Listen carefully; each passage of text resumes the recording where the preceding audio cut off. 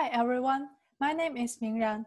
Today I will introduce Joltik, enabling energy efficient, future-proof analytics on low-power wide area networks. Low-power wide area network is an emerging network technology that offers long-range and low-power communication.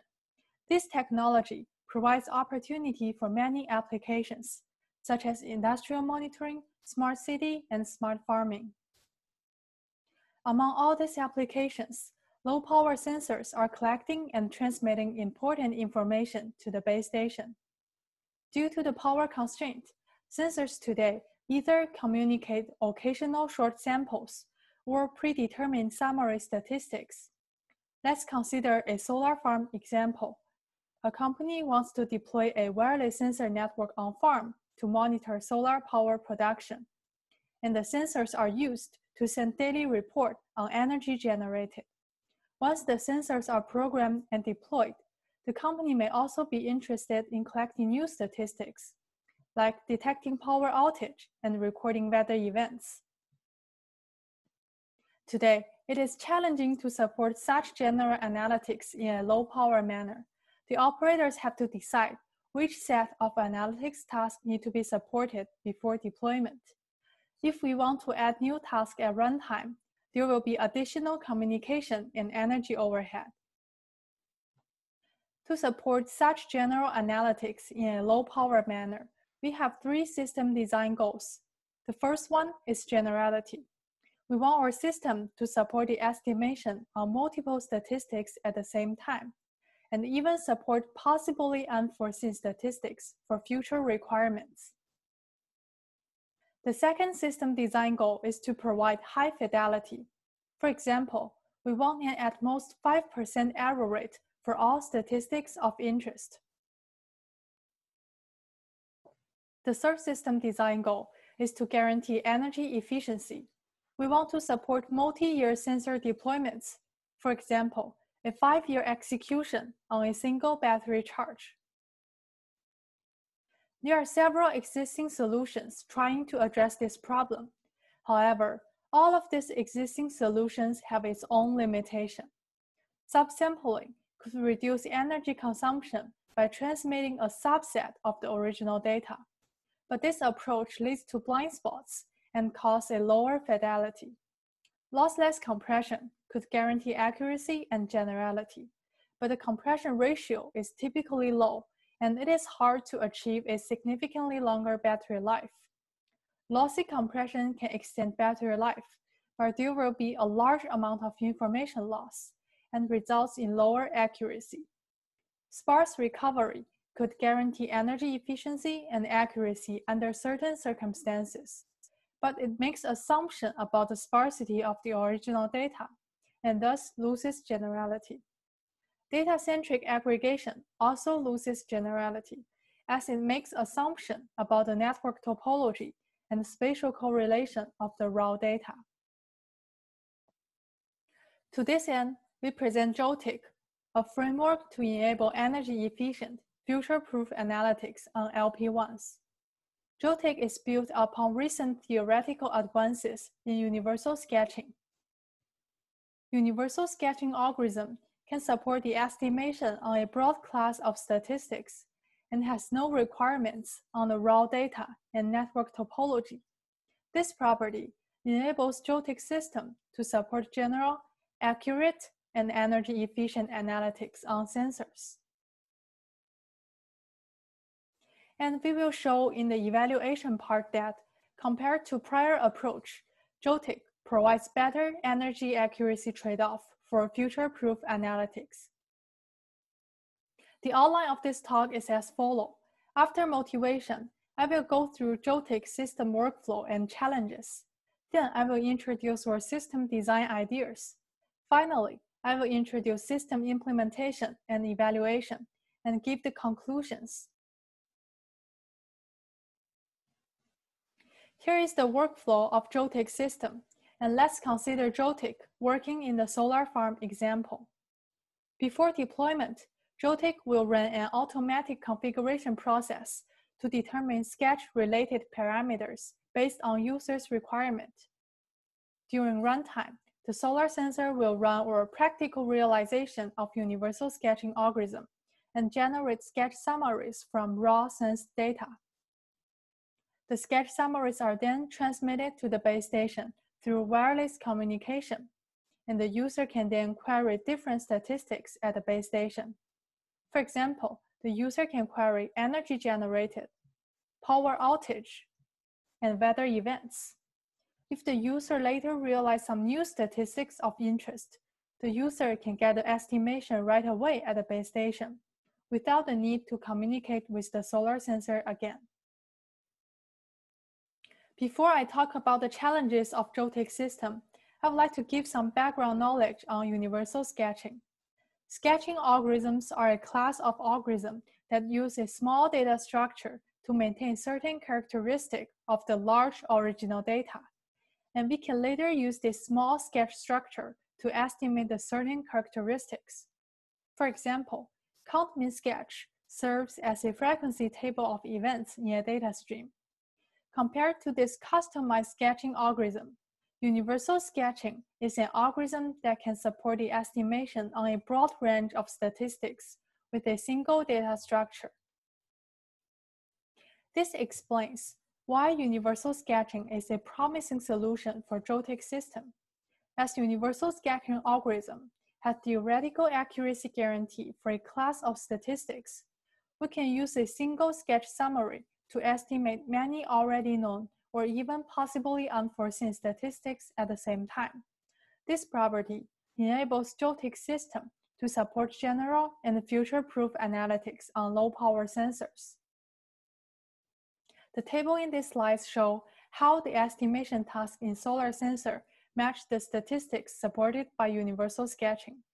In addition to this already known task, Universal Sketching is also able to support unforeseen tasks in the future with the same compact summary from sensors. To better understand how universal sketching algorithms work, let's first take a look at the data structure used in universal sketching algorithm. It is a multi-layer data structure, and each input data will update several or all layers of universal sketches. For each layer in Universal Sketches, it contains sketch counter arrays for input data to update. It also contains a heavy hitters heap to store the most heaviest elements in that layer. Now I will show you how the universal sketching algorithm works. The process for a sensed value k update a single layer of universal sketches is as follows. For each sensed value k, and for each row of counters, there is an independent hash function h to identify the location to update. For example, for the first row, we use hash function h1 to identify a location to update. And for the second row, we use hash function h2 to identify another location to update, and so on. After all the counter updates in a single layer, we retrieve the median value of all these updated counters and use the median value to update the heavy hitters heap. Then I will show you how sense value k update the entire universal sketches. There are another set of independent hash functions h prime to decide which layer will sense value k be sampled in. All values will enter and update the first layer.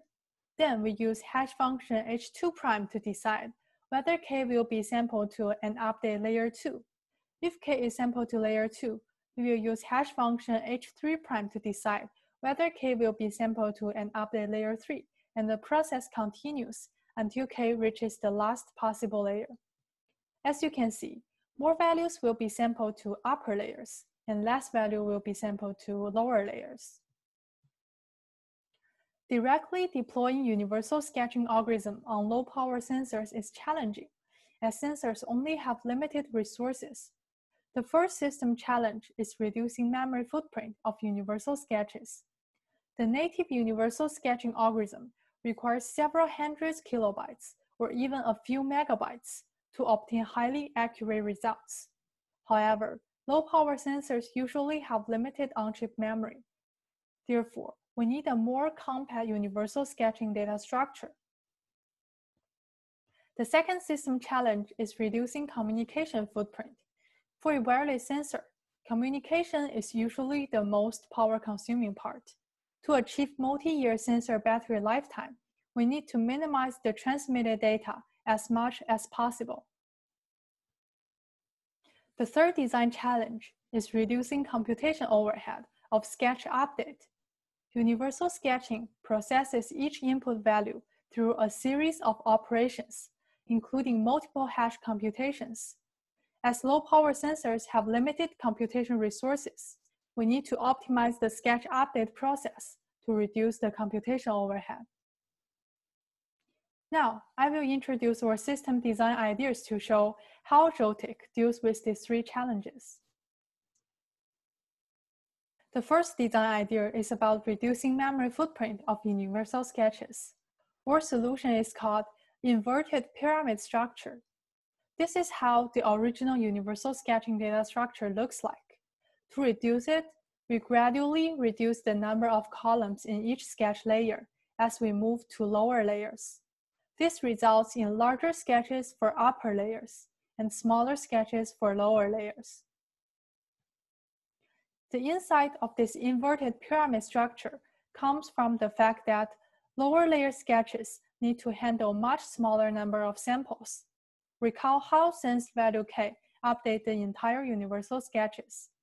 There are independent hash functions to decide which layer will k be sampled in, and the result is 100% of input value will be sampled to and update the first layer. 50% of the input value will be sampled to and update the second layer. And 25% of input values will be sampled to and update the third layer, and so on. Since the actual errors in estimating heavy hitters are proportional to the number of data samples in each layer, reducing the size of lower layer sketches will have little impact on the estimation accuracy. This is why inverted pyramid structure could reduce the memory footprint of universal sketches while still keeping a high accuracy. Then I will talk about how we reduce the communication footprint. To reduce the communication power, we need to compress the sketch data structure before transmission. It is important to use lossless compression techniques as we need the exact sketch information to accurately estimate the statistics. There are two components in universal sketches, namely sketch counters and heavy hitters. I will separately discuss how we compress these two components. Our method to compress sketch counters derives from the observation that in a certain sketch, only a small portion of the counters tend to have large values. As a result, we can compress the sketch counters by assigning different bit size to each counter. Specifically, Joltik assigns two extra bits as prefix to indicate four levels of counter length. For example, for values requiring 8 bits, we prepend 0, 1, resulting in a total of 10 bits instead of the original 16 bits, as value 228 showing in the example. For values requiring 16 bits, we prepend 1, 1, resulting in a total of 18 bits. You may ask that for a 16-bit size value, we need 18 bits after compression, resulting in using more bits. However, it is very unlikely for a well-conditioned sketch counters to have a large number of such values. And in the evaluation part of our paper, we show that although this compression scheme appears very simple, it outperforms several of the most prevalent lossless compression schemes. Another component in universal sketches is called heavy hitters heap and is structured as key value pairs. As the heap values are just estimates, yielded by the sketch counters. So it is sufficient to reconstruct a heap with heap keys and sketch counters. Therefore, Joltik only transmits heap keys when sending data and leaves the task of reconstructing heap values to the base station. The third design idea is to reduce computation overhead. To reduce the computation overhead, we need to first understand the computation bottleneck. A recent study demonstrated that the top two CPU performance bottlenecks in the universal sketching algorithms are hash computations, and counter updates. To reduce hash computations and counter updates, we introduce a new counter update strategy. This new strategy can accelerate the computation by two times without decreasing the accuracy. For the native universal sketching algorithm, each input value will update all layers until the last possible layer. In our updated strategy, each input value will only update the last possible layer. When reporting the heavy hitters from all layers, we will use the heavy hitters captured in the lower layers to update all its upper layers. The intuition behind this updated strategy is that there are less samples in the lower layers, resulting in less hash collisions and therefore a more accurate heavy hitter results in lower layers. Before I talk about implementation and evaluation, I would like to quickly go through how Joltik is configured and deployed in real-world applications.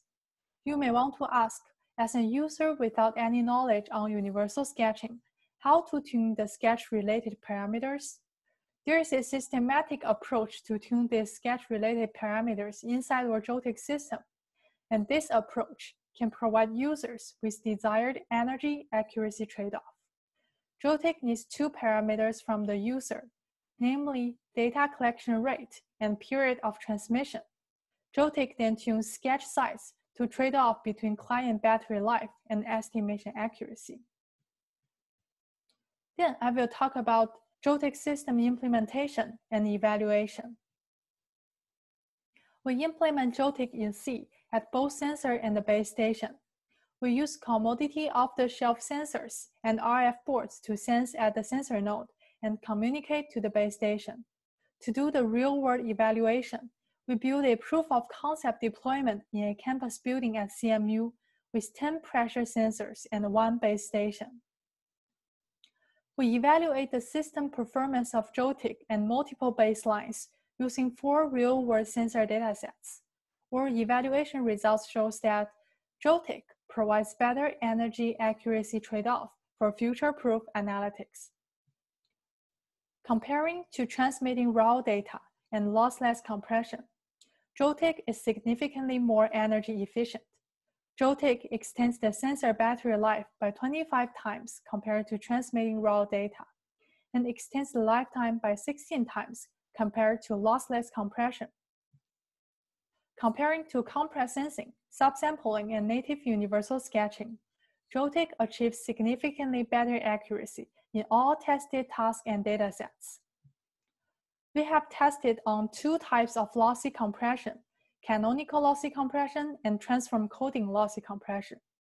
Joltik extends the sensor battery life by seven times compared to canonical lossy compression, and given similar accuracy requirements. Joltik also achieves better accuracy than transform coding lossy compression. As a result, Joltik provides better energy accuracy trade-off for future-proof analytics compared to multiple baselines. To evaluate generality, we deploy both Joltik and customized sketches to do four different sets of estimation tasks. The left figure shows that running multiple tasks on Joltik using the same energy budget will not incur accuracy deduction in individual tasks. The right figure shows that when more tasks are needed, Joltik will perform significantly better than customized sketches in terms of accuracy, which is as expected. To conclude, our goal is to build a general, accurate, and energy efficient sensor analytics framework. Our approach is a novel architecture by using universal sketching and provides a low memory footprint, low power, and low CPU realization of universal sketching. We build an end-to-end system called Joltik, where system can support general and future-proof analytics and our system could guarantee a more than five year sensor battery lifetime with less than 5% error rate on a range of statistics.